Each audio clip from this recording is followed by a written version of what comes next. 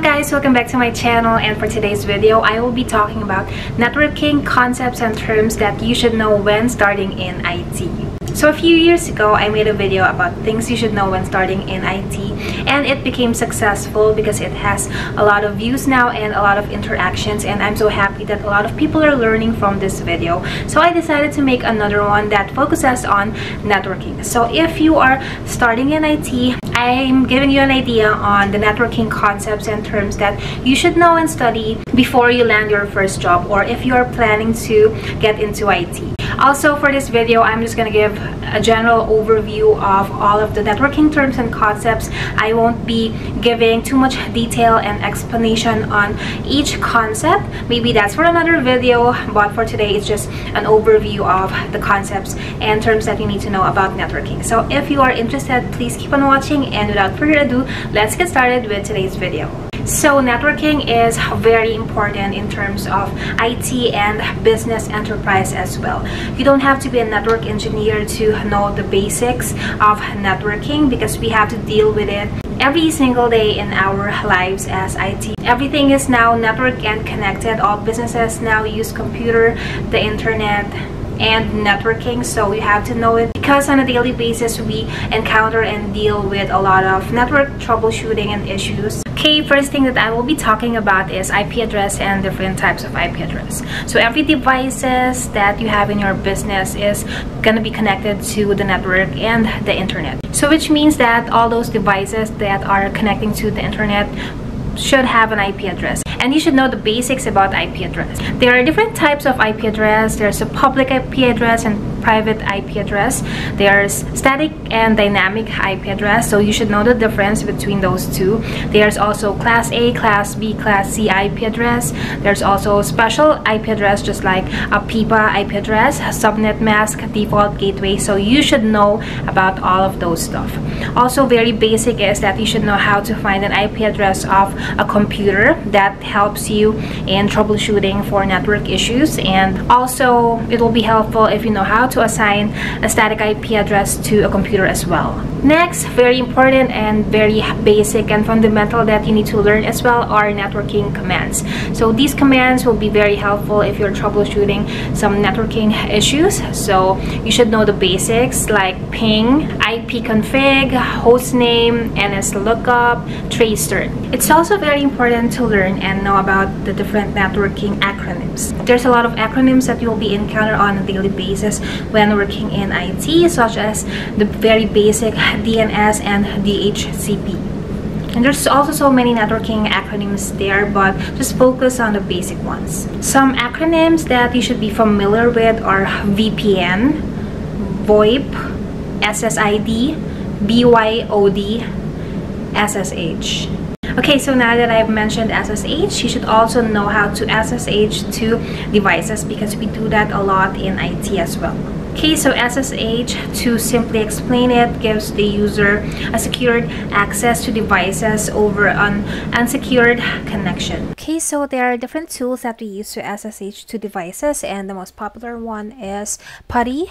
So you can download this for free on your laptop. So what we do is we make sure that it is on the session category in here and just type in the host name and or the IP address of the device we want to SSH to and make sure that this is on port 22 which means it's on SSH so sometimes if you wanted to change the font size because it's really small when you are typing stuff if you want to make it bigger you would go to the appearance here under window and just change the font size into a bigger one so this is also very helpful if you're doing presentation over zoom just to make uh, it bigger and clearer to understand. You should also know the different devices that can be connected to the network because you will be dealing with these devices most of the time. So some examples are access points, IP phones, printers, network printers, to be specific, some security cameras, and more.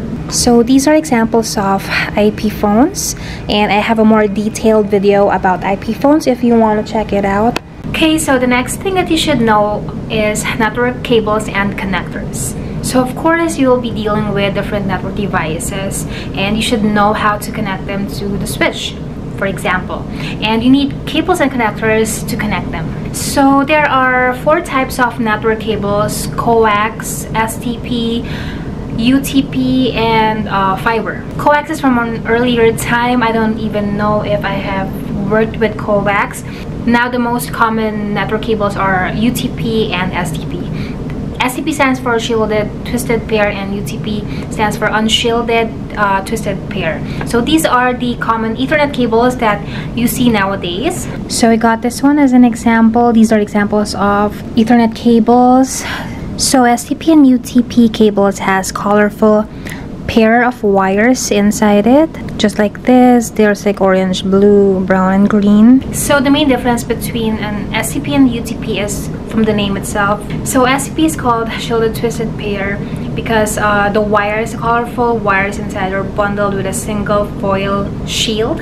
And the UTP is unshielded which means that it doesn't have a foil shield wrapped in these colorful wires. So the network cables are categorized based on their speed and their usage and the result of their use. So Cat5 and Cat6 are the common categories that we are using right now in the workplace.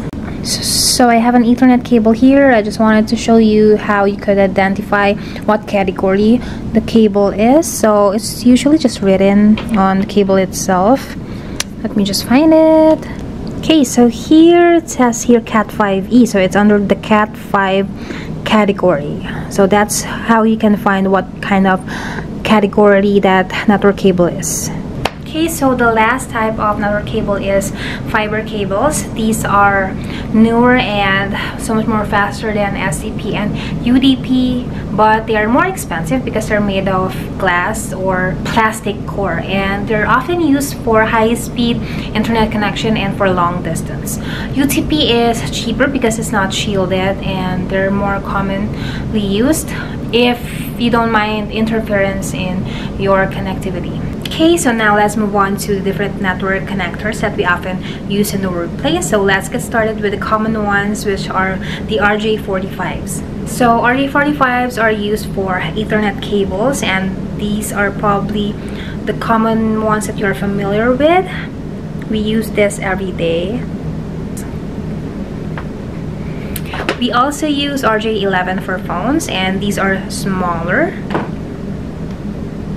and if you're using fiber in your workplace the network connectors for fiber cables are called ST, SC, and LC. Okay, so we have been talking a lot about uh, cabled networks. Now let's move on to another thing that you need to know in networking when you're starting in IT and this is probably what you have to deal with in terms of network connections a lot especially with users because we have a lot of mobile devices now so you really have to be familiar and you really have to know the basics with Wi-Fi. You don't have to be a Wi-Fi expert or Wi-Fi certified, but you have to know the basics like what the bandwidth is, checking the Wi-Fi speed, and also, of course, troubleshooting Wi-Fi issues because you are going to be dealing with this a lot.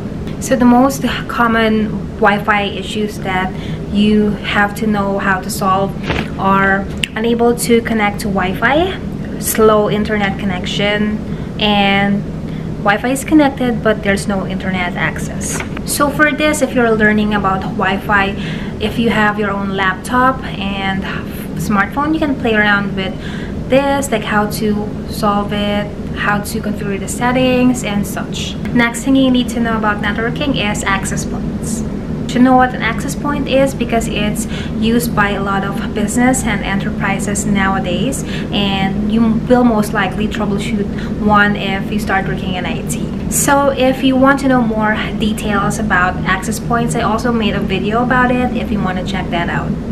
Okay, so last on this video is network security. As an IT professional, we should be able to secure everything from our network devices and user profiles. So network security is just as important in learning all the networking concepts. You should be able to know the basics about firewalls, what they are and what they are used for.